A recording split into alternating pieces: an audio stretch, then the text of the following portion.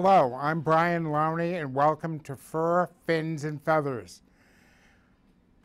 I started writing in 1994 and have produced a series of newspaper articles about pets, uh, covering topics of relevance throughout the South Coast area. We have done stories about dogs, cats, iguanas, you name it, we've done it. And it's been a fun and interesting experience. So we're, today we're starting to branch out and we are doing a series on pets with uh, for cable television here in Swansea, Massachusetts. Today we have two guests in the studio. We have Luke McMillen and his brother Logan McMillen.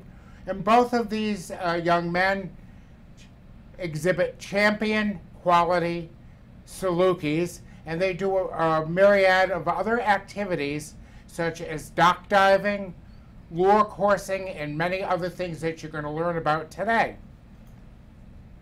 Good morning, gentlemen. Good morning. Very good. Could you, Luke, could you tell us how you started with dogs? Um, I first started out with dogs when it actually started off when my mother had she had a Saluki, a retired show dog, and she said, "Why don't we start showing?" So I said, "Okay," and then I got my first dog, which is Jedi, and I showed him for I think what close to a year, and then we, we used to alternate on who used to show him, and then we decided to get him a dog, and now we both we go all over the place down from like uh, any shows from Massachusetts all the way up to Missouri for nationals. So it's I we I love doing it. Um, the dogs love doing it, especially because they get to do a lot of stuff like lure coursing and dock diving, and it's it's amazing. So It's fun sport. it is. And it's a family sport. It is, You've got yep. dad involved. Dad, Ken McMillen, is involved. And uh, we have to credit mom. Yes. Mom, Heather McMillen, is, She does. she a- does a lot of work. Yeah, she does. It's been a great experience, but it's been a great and wonderful experience for both of you, for It the whole family. Could you tell us about you gentlemen just returned from Missouri? What did you do in Missouri?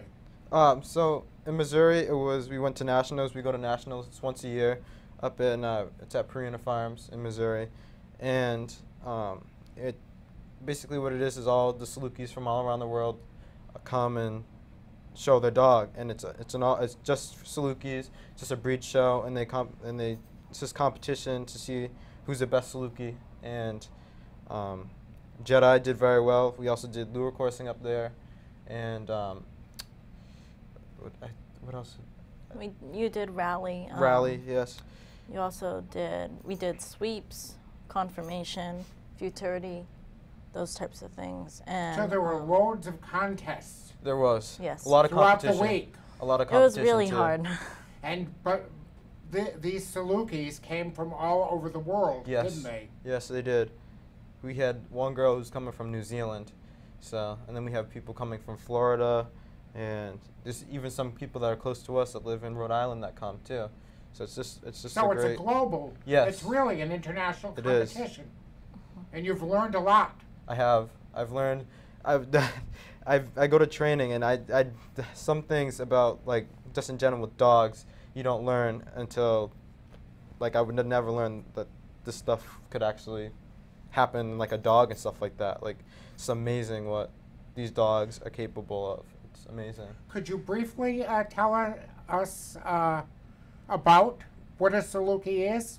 Um, a Saluki is um, it's a desert bred a desert bred dog, which um, he's bred to chase after and hunt down animals. So um, he would chase like gazelles and rabbits and most animals, small animals, um, and bring them back to their masters. But these dogs are extremely fast. They can run close to most of them can run 40, 40 to maybe in top like faster than that miles per hour, and it's crazy. Um, he's I think he reached close to 35, and his mother reached was the, the champion uh, for I think the world for a little bit of time, and he, she reached close to like 42, 43, something like that, which was really really good. So The Saluki is a rare breed. I'm going to Yeah. it is. It's um address uh, Logan. Uh, Logan, can you tell us what? Uh, tell me more about this breed. well, my breed is called the uh, Egyptian Greyhound, and it came from Egypt. They were used as like royal breed dogs for all the Egyptians. They're ancient dogs, very nice. They're basically like a cat. So They're very lazy, like a cat. very, very lazy. But when they when they're driven, like if they see a cat or a dog, uh, another cat, or like a, a rabbit or something like that outside, they'll go crazy. So Logan, this is a very rare breed, isn't it? You don't see many Salukis around town. No, we don't. We're probably like the only two. There's probably about four in Massachusetts, the tops. But all Yeah. around the, the whole America, like usually Salukis would hang more south. So, but we Yeah, there's a have a, lot more down lot of friends. We have some in Maine and Rhode Island with Salukis. So, Is it, is the breed becoming more and more popular? it, Um, it definitely picked up. yes. Last year, I think you two gentlemen and your family have helped to popularize the breed. yeah, I, last year at nationals there was 230 dogs. This Uh-huh. year there was close to 400. So it's, it definitely So it's has- getting it- better. It has. Mm-hmm. And you've had a lot of fun. You've made. Tell us about some of the people that you've met. You've met a lot of good friends, haven't you? Yes, well, we met um, Danielle. She's a Saluki breeder too. Um, she's very nice and she's really good.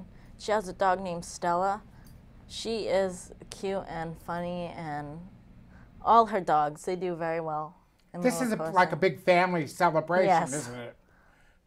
Yes. Then there's Jenna, who um, sh- we're also friends with from going to the uh, SCOA Saluki Club of America thing, but She lives Um, up in Maine. Yeah. And then there's Eliza, which I've been talking to you about. She doesn't own Salukis, but she owns a duck toller. Yeah, um, she's shown under you before, so she's really nice. But it, it's uh, you, you've made a lot of good friends. Yes. We have over over the years we've met and we've learned tips and it's it like I said it's crazy how much you learn about dogs. Like it's crazy. One of the things that I've become very interested in lately uh, is dock diving. Yes. This is a new sport. This is something kind. It's relatively a new sport that is just gaining recognition. It has. Can you talk about dock? You went to a dock diving competition this past weekend. We didn't did. You? How was it? Well, we was very went to busy. the thing, but we didn't want to enter the dogs because we weren't sure if they could like fully swim because Sure. they're desert bred, so they're not really meant for water. So when we went to our trainer Lynn's camp, Lynn Prey, um, we learned that they like little kiddie pools. So we thought, hey, why don't we uh, try the Papalooza? So we went. Um, I decided not to do it with Piper, but there was so many fun things there. Like they had this 360 camera, and we saw dogs jumping off. Like the furthest that they went was probably a seven feet, the max. But I mean, we didn't go, so But we we bring them in the pool with us yeah. at home and they love it. So But you did go to Palooza. Yes. And that was an interesting experience. it was. more and more people.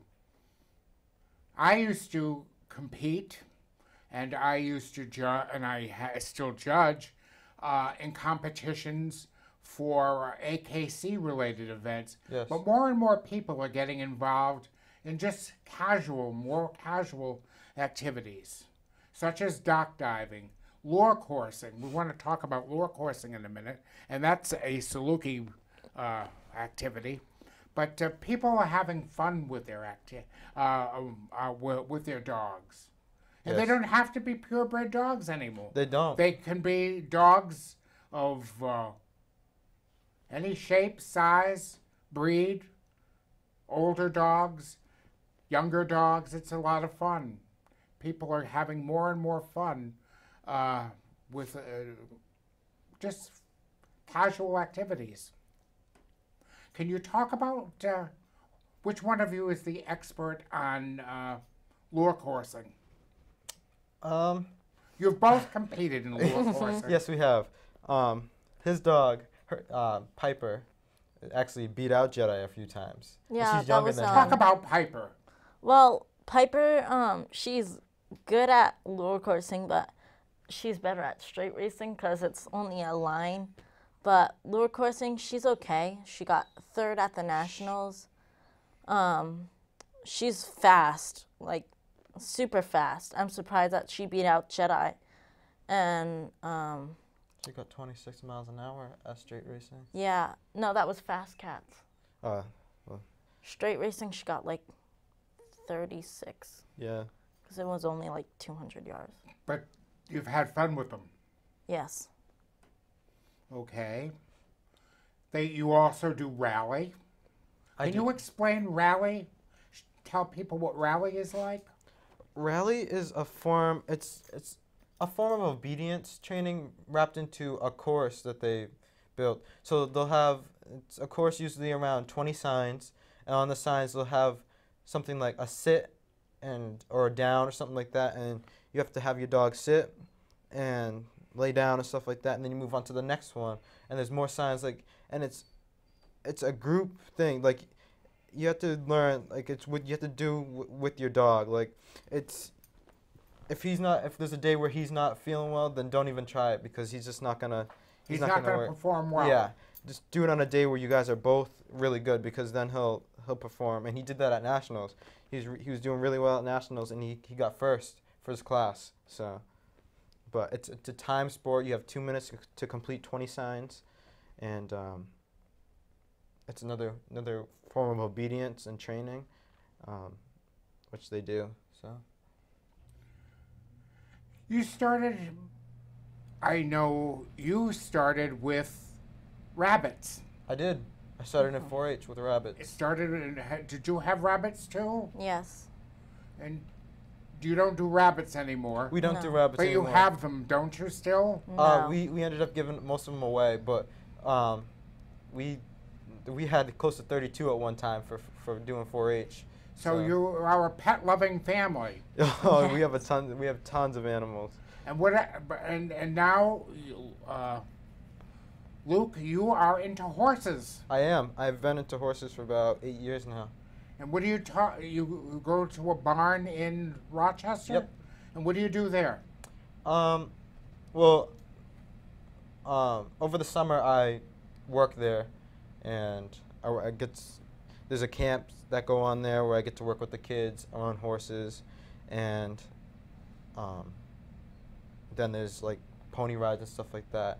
But then there's some other things where you get to where I just get to work and learn like tricks of the trade where I get to drive the tractors or I get to when the blacksmith comes I get to learn how to do stuff like that or when the guy who comes to clean their teeth and it's just a great experience over the summertime and I've I've been doing it for the past four years and I, I love going there.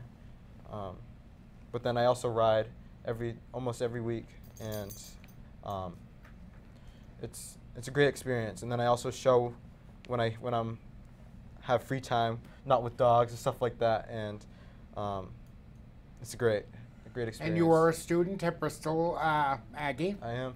And uh, that's a great experience as well. it is. And uh, so you people, both you gentlemen, are very actively involved with pets. yes Yes. What would uh, could you uh, give a de- give us and show Jedi what to look for in a uh, show dog? Well, what you want to look for is um, like in a dog, you want them to have a nice back. You want their feet to be like a little bit out and like their feet to be close together. So, and straightforward. I mean, and show Luke shows Jedi. So, Yeah. You both work different very diligently. Almost, do you work daily with your dogs? I do. yes. Training. It, training's Training every, them daily? training's every day for at least a half an hour a day. So And I think that's why that attributes to your great success. It, You've it's worked hard, but you've part- gotten some great ribbons and things. it's a partner sport. It's, it's it really is. So So this has been fun. So, uh, what what's Logan? What aspect of showing dogs do you like best? Do you like to go to the to the shows? Do you like to travel? Um, my favorite is like showing because I mean, people think like it's just about winning, but no. Um, when you put a dog in a ring, you want to make sure that you and your dog are like having fun together. This isn't like a full blown competition. Like if you get second place, you flip out. But um, yeah, mostly I want to have fun with Piper and Jedi as much as I can for when like I go in the ring another time. Like they can not have to worry about anything, and that's what I see in other people. Like they just go in the ring and like they have fun. They don't even care if they win or lose. They just go in the ring and they have fun with their dog. So that's like my favorite that's part. the main goal with our family is to have fun. The main goal is to have fun, It is. and that is something that I, that my parents instilled in me when I showed dogs. 35 or th- almost 40 years ago. Wow. and it was fun. And my my remember my mother saying, "If it's not fun, we're not doing this anymore. Yep. You have to have a good time. You got to Mhm. enjoy it, and you got to like the dogs." Yes.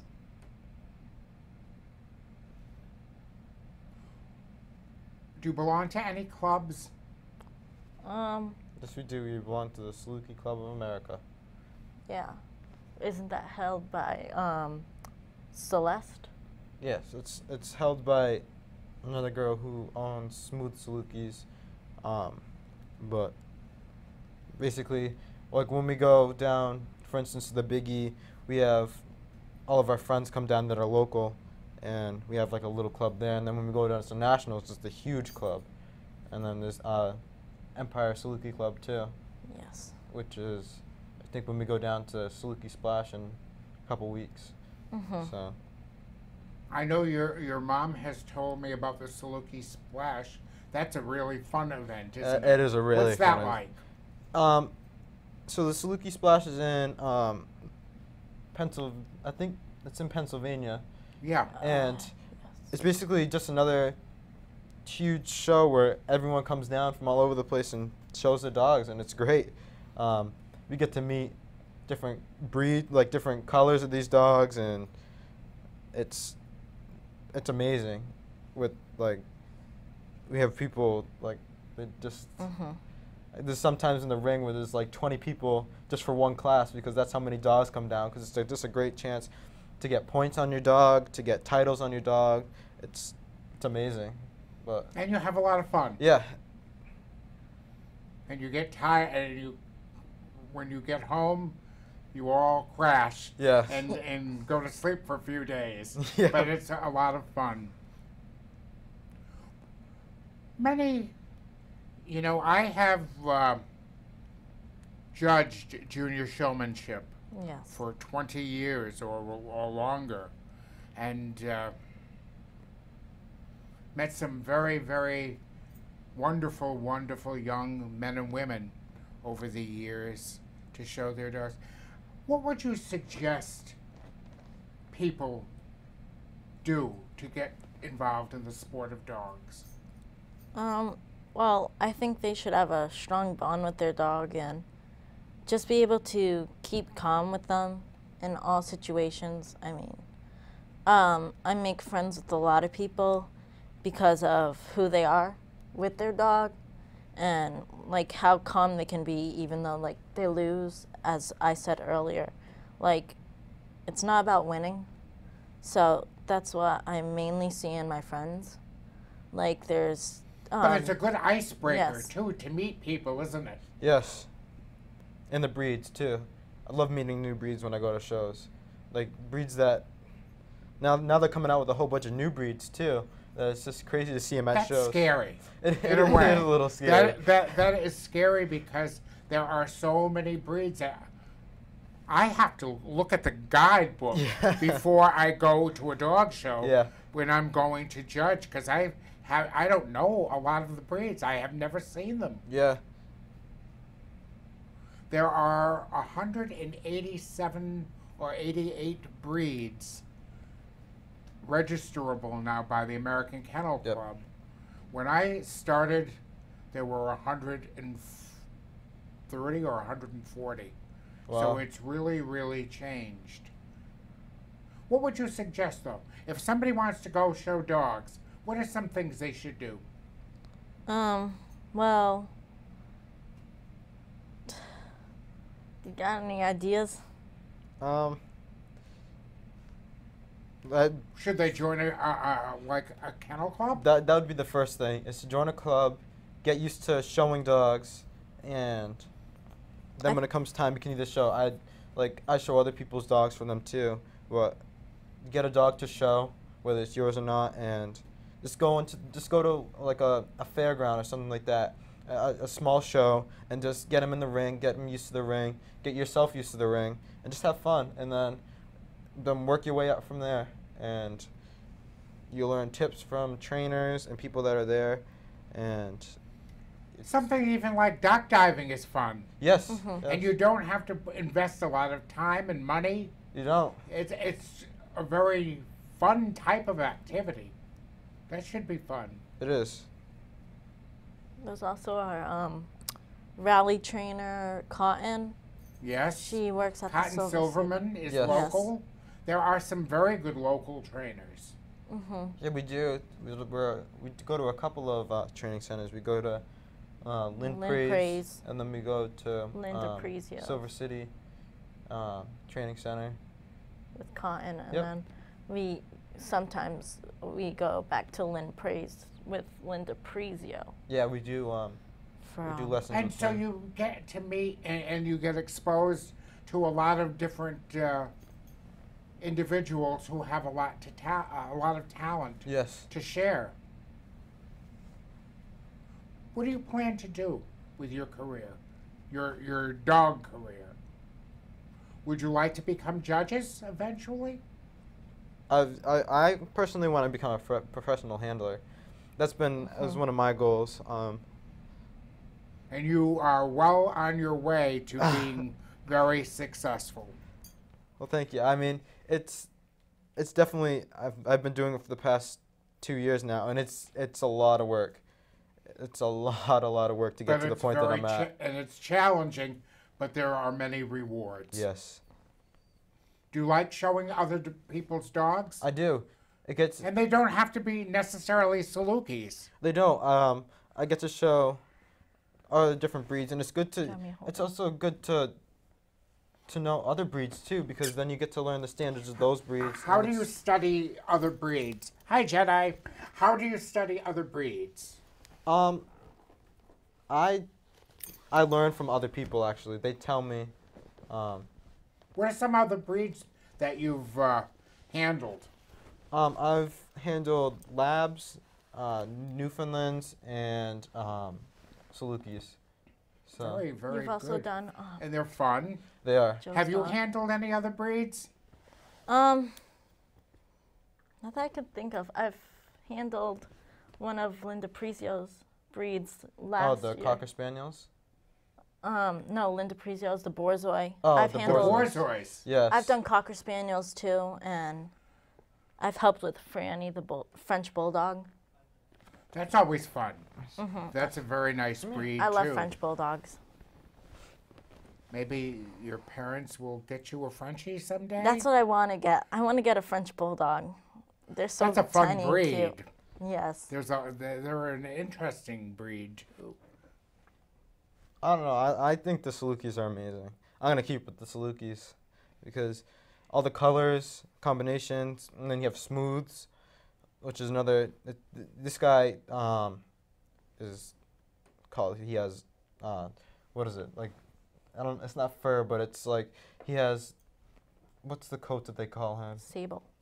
No, that's his color. But Red? he has. He no. He has a he has a special kind of fur that they have, and then there's smooth, which is basically like a very dense. Oh, feathered. Fe- yeah, feathered and then there's smooth. And uh, smooth is basically not like this. It looks like it's very. They look very shiny in the show ring. So, and They, they, don't a have. very sleek coat. yes, and they don't have the ear feathering like he has, and they don't have the the, the uh, hair on his tail like that. But it's definitely. How do you unique care for for a Saluki? They're very easy. They're um. I mean, they're, they're like the typical dog. Uh, uh, you run them. You try to run them at least once a day, in our backyard, just to keep up with their exercise and their fitness because of lure coursing and stuff like that, and just to keep them in shape. Um, and then, feeding wise, they all get their same food um, that they ha- that they have, and then they have um, the snoods that they put on them that you put on them every day, which just protects their their ears. So. But other than that, they're just a typical really good dog. So they're lazy, but they're really good dogs. Do you take them out for a walk every day? I, I try to. I try to just to get them acclimated to other people, other dogs, new areas to see. And you So- take them to training classes. How often? Twice a week. Twice a week. Yes. And then next week we're going to be going back to Lynn Praise for she's having a summer camp. We went one week already, and this Talk last week that. of the July. Well, um, basically, Lynn Prey she's in Rehoboth, Yes. She's in Rehoboth, yes. um, and, And I'd like to get her on the show at some point. Yes. Lynn Well- is a very experienced English Cocker Spaniel breeder. She has some really really nice Yes. show. English English Cockers that are beautiful dogs. Yes. And tell us about Lynn's training camp there. Well, she does lots of obedience to get the dogs in like shape for like when you're on a walk, you always want your dog to be friendly next to someone and be able to obey your command.